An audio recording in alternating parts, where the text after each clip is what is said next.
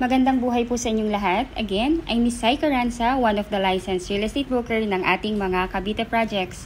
And right now, andito po ako ngayon sa Anyana Bel Air, located along Highway of Tansa Cavite, which is Antero Soriano Highway. Si Antero Soriano Highway, ito po yung main highway ng Tansa Cavite, which is connecting ng Centennial Road, connecting sa Cavitex, and connecting to Coastal Road, and connecting to EDSA and Manila. By the way po, um, if you are new to my channel, please do me a big favor. Please subscribe and hit the bell button found at the lower right of this video screen if you think po na nakakatulong po ako sa inyo upang magkaroon ng mas more option upang makamit ang inyong pangarap na bahay dito sa Pilipinas. Please do that po. So, ayun. Yung unit na pinapakita ko po sa inyo ngayon ay yung aming pinakamabentang single attached dito na si Tokyo Single Attached. This is a complete turnover po. So, furnitures na lang ang ilalagay ninyo. Meron tong tiles, Uh, as incomplete na, may mga partitions, may mga ceiling na. Uh, it has a 4 bedrooms, may 2 toilet and bath, living area, dining area, kitchen area, with provision for your dirty kitchen and laundry area. And also, meron din po itong provision for your 2-car garage. It has a 107.35 square meter floor area and a 100 square meter lot area. So, ayun po, um, habang, pin, habang iikot ko po kayo dito sa loob ng sample na actual na turnover namin ni, ni Tokyo Single Attach, bigyan ko na kayo ng information about who is Anyana Bel subdivision. Ayun, so si Anyana po is a mixed-use subdivision. Ito po ay residential and commercial and with commercial space na located in the heart of Tansa, Cavite. Yung subdivision po ay 5 minutes drive lang from the new SM Tansa and Pure Gold. And about 40 minutes and 1 hour drive from the PITX Terminal, SM Mall of Asia, and NAIA Airport. Anyana Bel Air is a 100 hectares of a prime land. This is a luxury village that is inspired by the Los Angeles Bel Air Community Development in the state of California. So, ayun po. Although this is considered as a luxury subdivision, Anyana Bel Air is still 30% lower price for the residential and 40% lower for commercial lots. In comparison po ito sa other upscale subdivision na katabi natin. By the way po, katabi natin dito si Maple Grove by the Mega World and Evo City ni Ayala Land. So, imagine. So, because yun nga, katabi natin sila, uh, mas mas ma-encourage kayo or mas malalaman ninyo na talagang maganda ang progress dito sa amin sa Tansa Cavite kasi because of those big developers na katabi natin. Itong si Anyana Bel Air, aside from its impressive township, convenience, kasi sa loob ng subdivision, magkakaroon din po tayo dito ng malls. Even sobrang lapit na natin sa SM Tansa at Pure Gold. Magkakaroon po tayo dito ng resort-inspired amenities and community features that will create a tropical environment with a touch of class. So the breeze at this modern community is also cooler than the other vertical communities such as the condo because of the presence of lots of green and trees inside the development of the subdivision. So, ayun, malamig pa rin po dito and maganda yung magiging development plan. Yung amenities ni, Ama, ni Anyana includes the cabanas, children's, children's playground, swimming pool, beach pool, play pool, leisure pools, lounge pool, lap pool, cascading edge, submerged deck, function rooms, alfresco dining, coffee shop with play area, billiard table, and um, and dart games. Also, may gym din po tayo sa loob ng subdivision or they called is this as fitness um, fitness center na with complete set of workout equipments. And also may landscape gardens tayo dito, pocket park, basketball and tennis um, tennis court. The township or the um, has a retail event place, open plaza, its own church And also, may supermarket tayo dito, Grand Plaza and 24-7 security with perimeter walls with CCTV. So, ayun po, I hope na medyo okay naman yung ano ko, yung pagkaka-discuss kasi baka masyadong maba, mabilis yung presentation ko. So, what will I, what can I say is just wow. Sobrang wow. Ang ganda ng subdivision.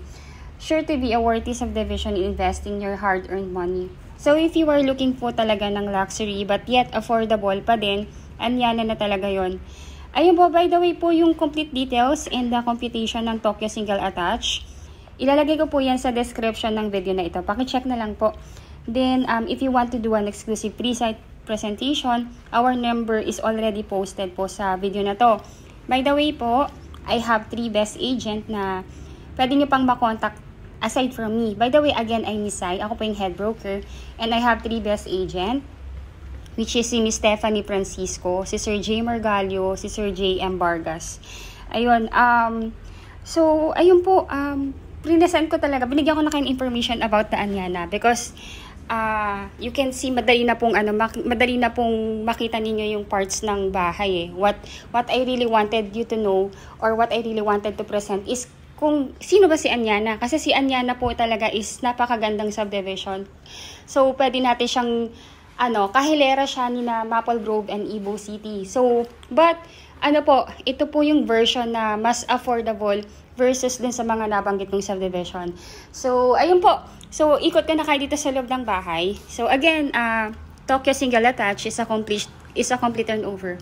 So, lahat po nung makikita ninyo dito sa bahay na to, ito na rin po yung exact na ma-receive ninyo pagka na-turn over na sa inyong unit. Complete na po ito. Meron na siyang, meron na siyang mga granite tiles. Then, wood planks po sa stairs.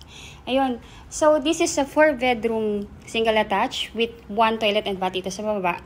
So, same po yung texture. Complete na rin po yan. 4 bedrooms, may isang bedroom sa baba. Then, tatlo po sa taas and one toilet and bath sa taas.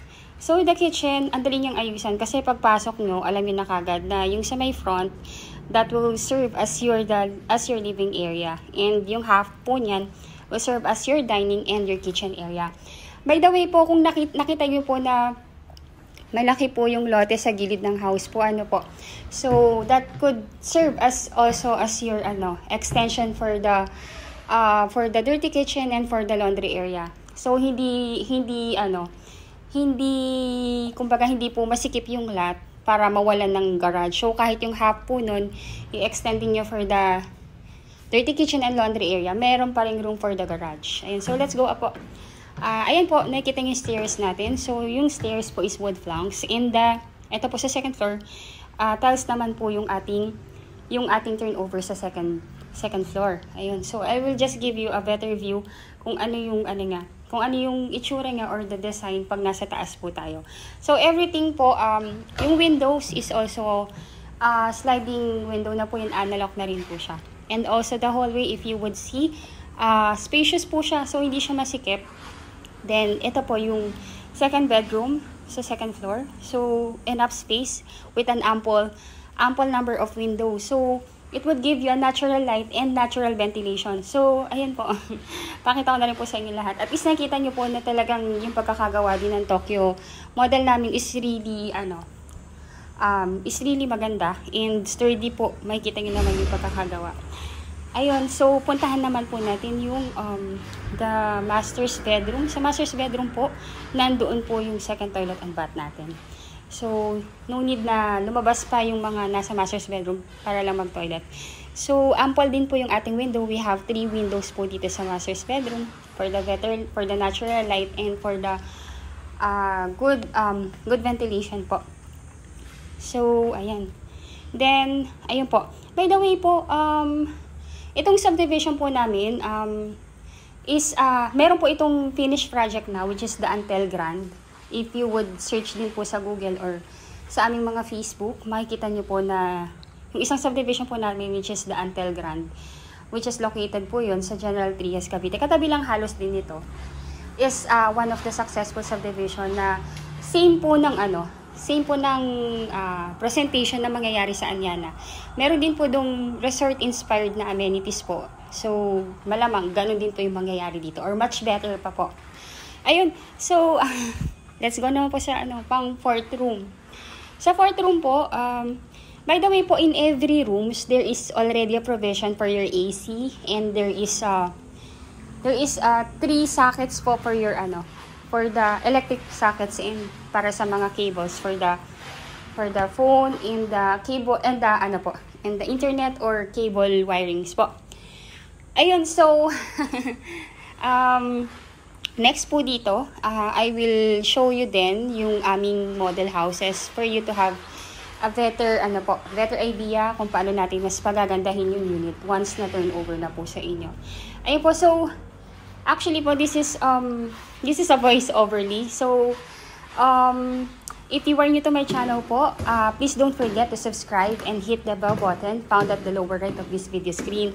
Ngayon po, so next po pupuntahan na po namin yung model house. So, ayun po. Um, hanggang dito na lang po muna siguro yung aking voice over. If you have more questions or clarification in regarding to the unit and if you want us to present to you personally, um, just call us. We are available in Philippine number, Viber, WhatsApp, Telegram, IMO, Line, and Skype. Ayun po. So, lahat po ng access, whether kasi po, there are countries ng ating mga OFW na may specific lang na parang app for the ano po, for the free call and text po. Ayun, thank you so much for watching po. Pupuntahan na po namin yung model house. Thank you so much for watching po and please subscribe to our channel po. God bless po sa ating lahat and ayun po. Thank you po. Bye-bye po.